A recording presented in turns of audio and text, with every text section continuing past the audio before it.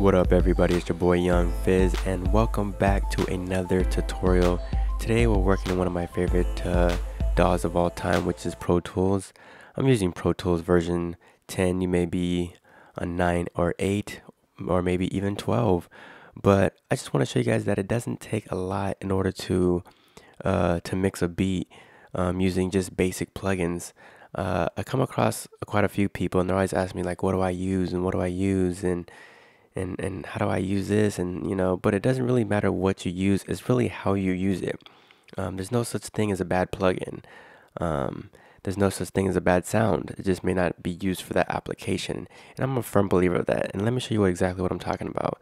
So I have a beat here and let's just strip the plugins completely. And let me play the beat for you of what it sounds like just with nothing on it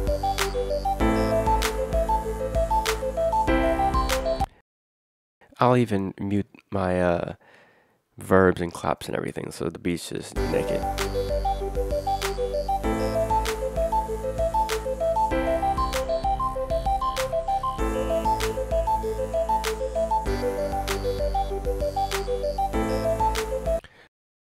So that's pretty much the beat right there in its raw form.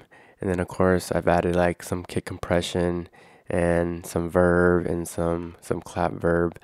I'm going to keep the clap delay because I want to play that in the second verse. It does some cool patterns there. But what I really want to show you guys is how I beefed up this kick, for example.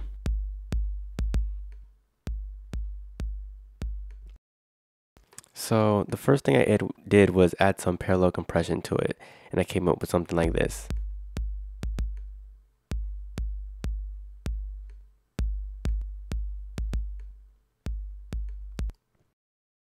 So already that's helping the track. The next thing I went ahead and did was add a channel strip to it. And it looks something like this here.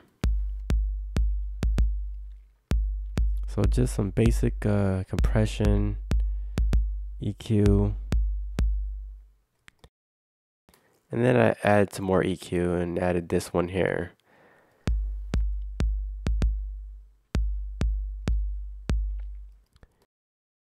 And these are all stock plugins.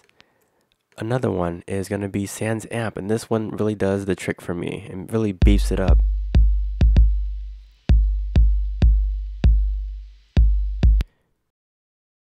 And I know it kind of sounds bad with the with the extra noise, but no no worries with that because basically it's going to be masked anyway when it's in the mix so you're really not going to be able to hear it and this last plugin I added I added just you know a, a little boost here looks like a gain of 4 decibels at uh, 50 hertz just to give it that boom sound.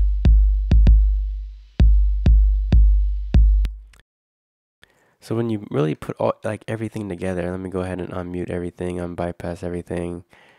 This is what you have here at the end of the day.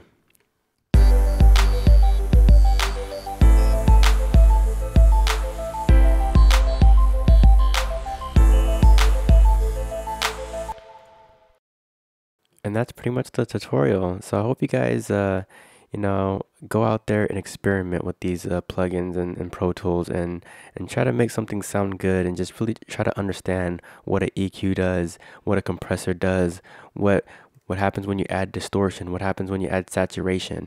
Uh, I challenge you guys to go out there and, and use these plugins and try to make a mix sound as, as great as possible. Remember, it's not what you use, it's how you use it. And it's not also what you use, but you know, it's the knowledge you have behind the plugin and everything like that. So it's your boy Young Fizz. I hope you guys learned something and we'll see you next time. Thank you for watching.